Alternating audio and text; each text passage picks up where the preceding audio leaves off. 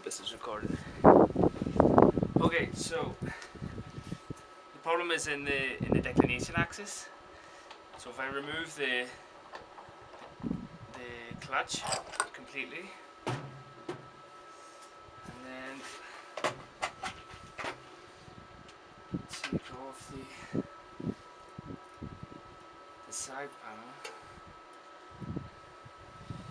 I should have did this already, but I forgot.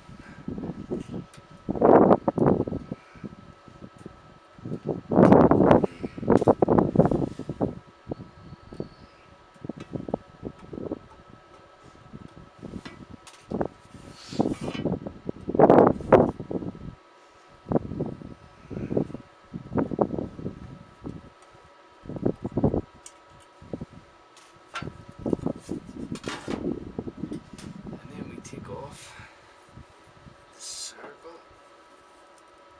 Okay. So there are several spots on the on the rotation of the declination axis where the where the motion is quite lumpy. So you can see if I start to move it, it's currently sitting in one of them. And it takes quite a bit of pushing to get it out and then it leaves. And the tube itself with all my kit is quite quite well balanced but there is a lot of resistance in the motion and if I go back to this main sticking spot you'll see it rock into the spot there there. So again it's rocking in. And now I have to push it quite hard to get it through this point. And then there's another one you see it rocking. And then there you see it again rocking rocking back into that position. So and the whole time nothing in here is actually moving. So I don't think there are any problems with the with the worm or with the gear because everything is, is completely stationary inside there's, this is the main rod there's one rod there and this is the second one there you just seen it rocking back and forward. And then it takes quite a bit of pushing to get it out of there. Uh, and then again all- on the north is fine. We don't really slew here very often.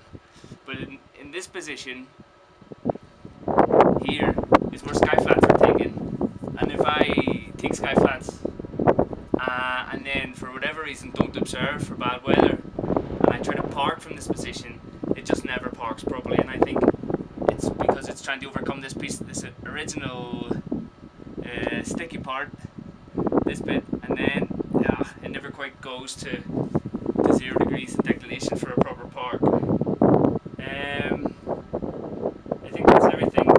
So, so the main the problem isn't here. The problem seems to be between here and here, inside the in where the, the bearings or the shaft are.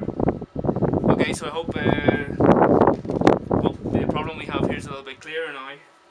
Thanks very much.